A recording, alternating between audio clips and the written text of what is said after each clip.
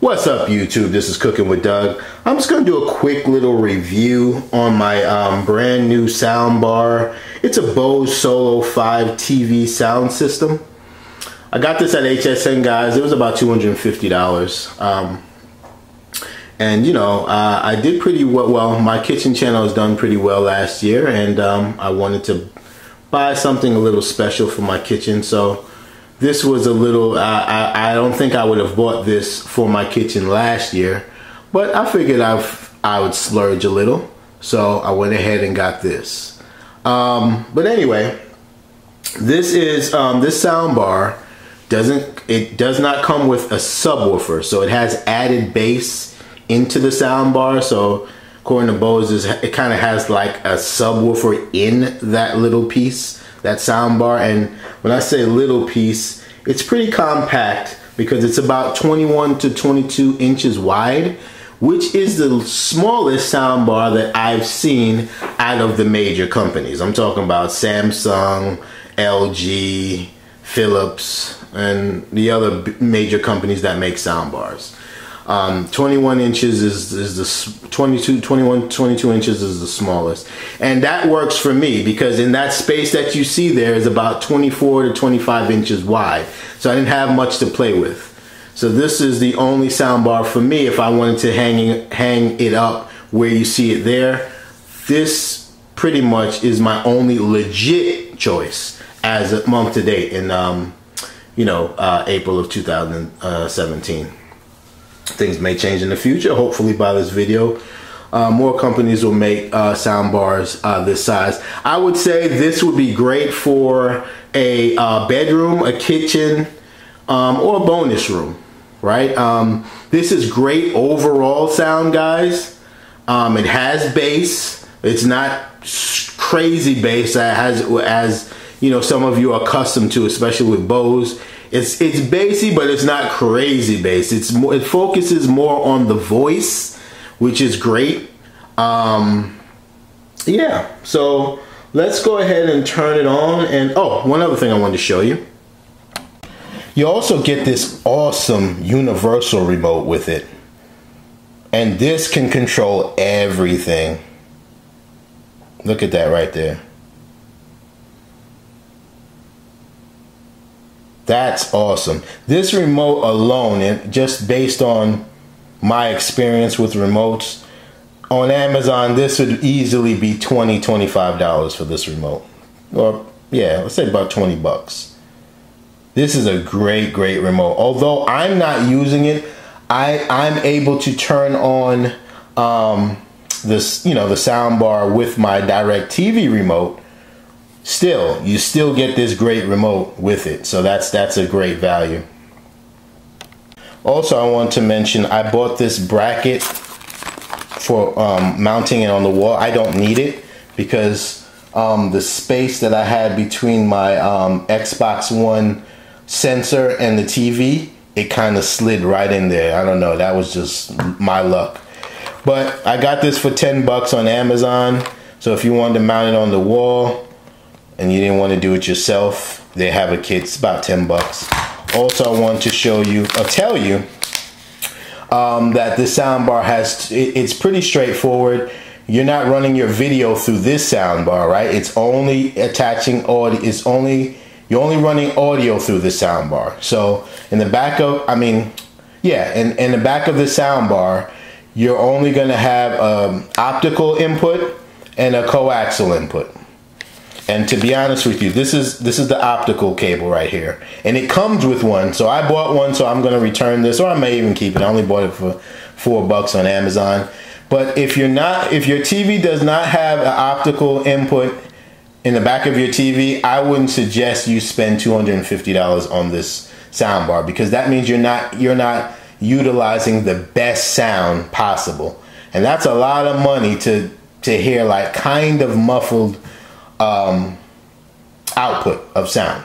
And that's what you're going to get if you're not using an optical because there's no HDMI function or option, should I say. So you only have coaxial or optical. So if you're not using this cable, don't even bother. So first thing, if you're interested in this, I would make sure that your TV has an optical input.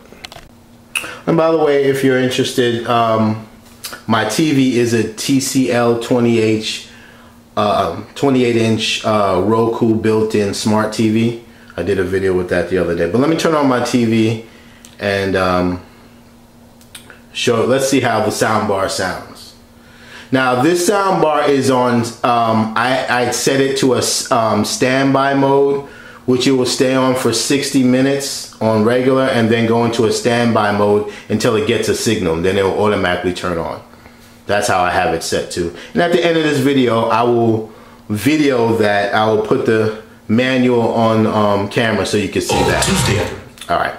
So um, I just put it on mute. Since I'm going to cut the cord in two years, um, that's one of the reasons why I bought this TV. I upgraded to this TV. Um, let's go ahead and get used to what I'm gonna need to start doing. So let me go into my QVC app real quick. And with these apps, you can go live. I can watch QVC live without um, a TV subscription. Although I have DirecTV, let's say if I didn't have it, I could watch it live. So we're gonna watch direct. Uh, we're gonna watch QVC together, and I'm gonna turn up the volume, and we're gonna test out um, the volume once I get it loaded here. All right, live TV. All right. 200 order. Are you going to be 3201? I don't know. I think I actually think we're going to be 3203 when Dara gets off the air because this gets shipped directly to us. So if she needs it, she's got to order it. I'm ordering this. Um, we talked about that's awesome. We talked about QVC2. Yes. We also want to talk about our other great sister channel, which is Beauty IQ. Yes. Look for Caroline Walker. Yay. New love. Great demos. Um, Only $39.88 is your season price. 730-834. The vest is a steal with the once only price, lowest price you'll ever see at $21.74. I have it not only in white but also in a blush. 727-349. It is backed by demand but never been seen that low. Our mineral wash fringe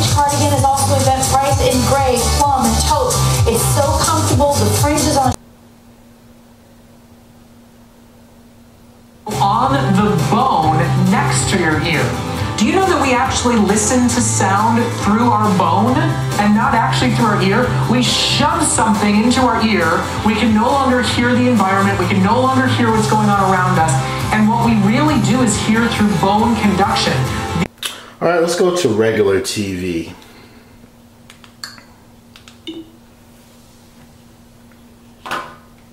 Burgers. All right, thanks for your time. Let's take it out to 15.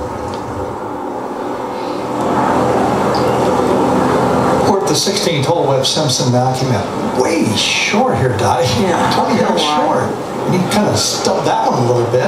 This is making a pretty simple hole after that tee shot. Kind of, Pretty kind of sneaking up on it, isn't he? He's trying. 18.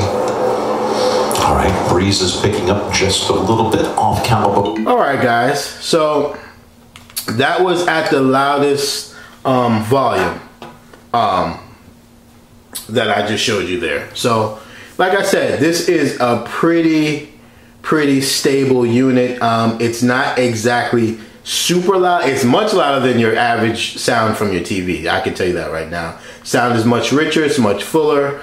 But it's not gonna blow your socks off. Like I said, this is great for a small and medium-sized bedroom. Definitely any kitchen, um, that type of environment. Um, so yeah. My bad guys, I almost was about to close this video without even going over the Bluetooth feature of this soundbar.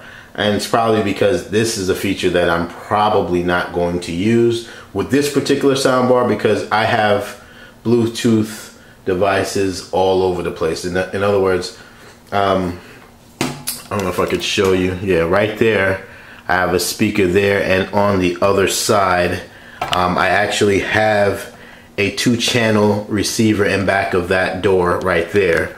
That when I really want to play some music, and that has that's Bluetooth ready, the receiver in there, I could use that. But anyway, that's a, that's another story. But let me show you um, the Bluetooth feature. Unfortunately for this, I'm not sure because the way my um, soundbar is set up, I can't physically see on top of it because it's just crammed in there.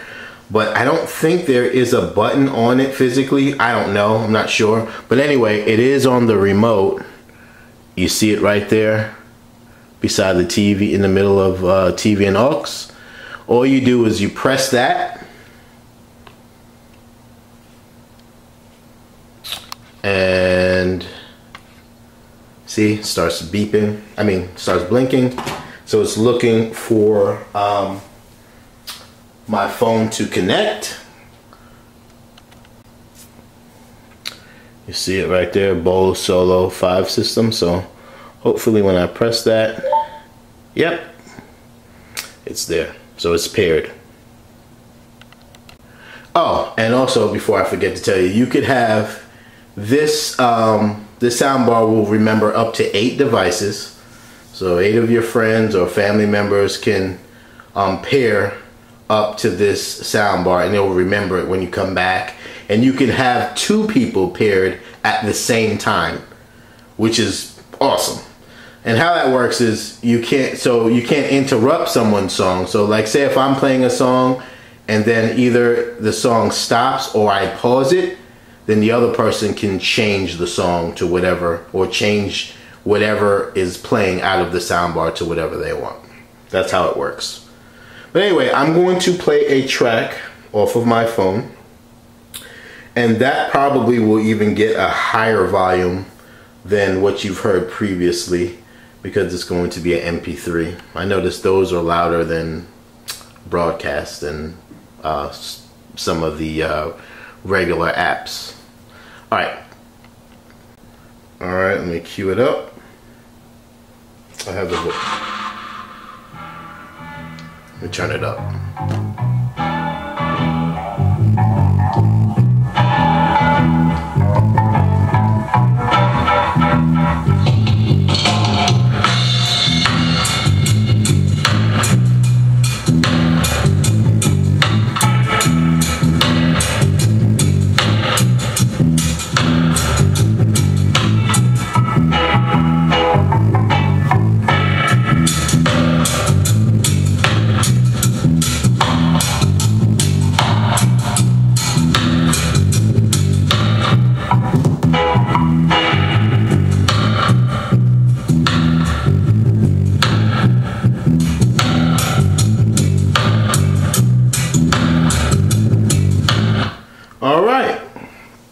So that's the Bluetooth part of the soundbar.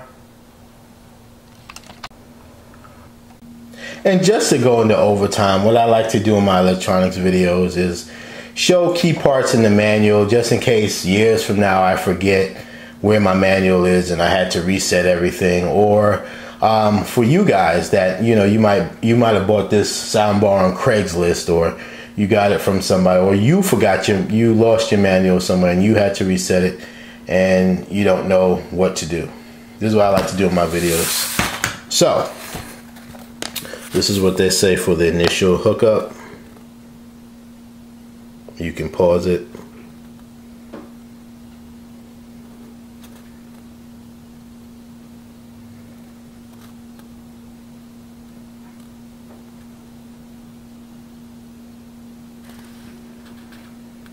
See? Optical cable preferred.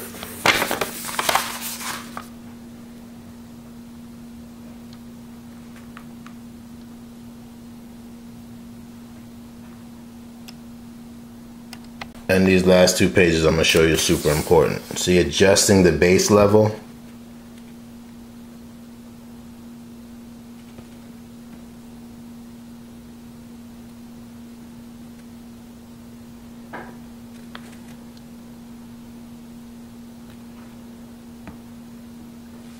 All right. And auto wake. That's what I have. What's that? Oh, yeah. Dialogue mode. That's to change the modes. Um, different sounds. Music, news, blah, blah, blah, blah, blah. And auto wake. That's most important.